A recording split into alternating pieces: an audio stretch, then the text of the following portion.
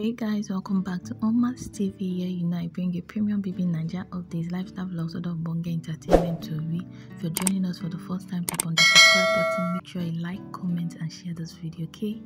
Guys, here is Bella and Sheggz. These two are safe. Hooray! Like we're so happy.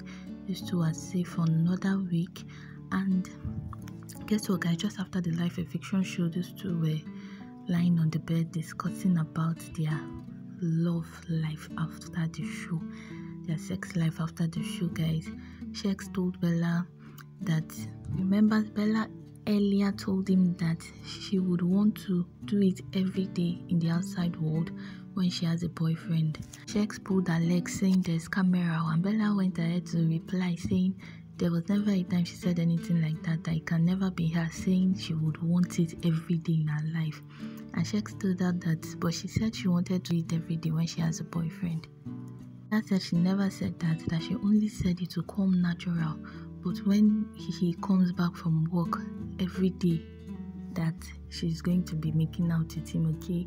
So these two are planning their sex life already when they leave the show. To have really tried not having anything to do with themselves in the house. But Omo, we never can tell. Let's just wait for a reunion show. That's when you hear all crazy things you never saw in this house, okay? So guys, Bella and Sheggz are safe and they are here discussing about their sex life, talking about their future when they leave the house. You don't forget they have just two weeks left in the house, so they better start making arrangements. There's still time because once they leave here, it's media rounds upon media rounds. They won't have much time reuniting with families and all that. So guys, your Bella, our Bella shippers, Bella and Sheggz are still in the house to give you more content, okay? Meanwhile, people are fans are reacting saying Big Brother cheated for now lying Sheggz go that Biggie cheated. Sheggz is supposed to leave today. They are not happy that Sheggz is still in the house. Oh mommy, I'm happy oh, because I wouldn't want to see Big Bella sad all through this week. At least they have just two weeks left, so they should just keep enjoying themselves, okay?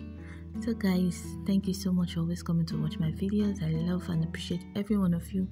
Please, if this is your first time coming here, don't feel tap on the subscribe button. Make sure you like comment and share this video. Please leave a comment very important. Let me know how you think about this too okay? Give this video a thumbs up. Love you so much. Thank you so much for watching. I'll see you in my next one. Bye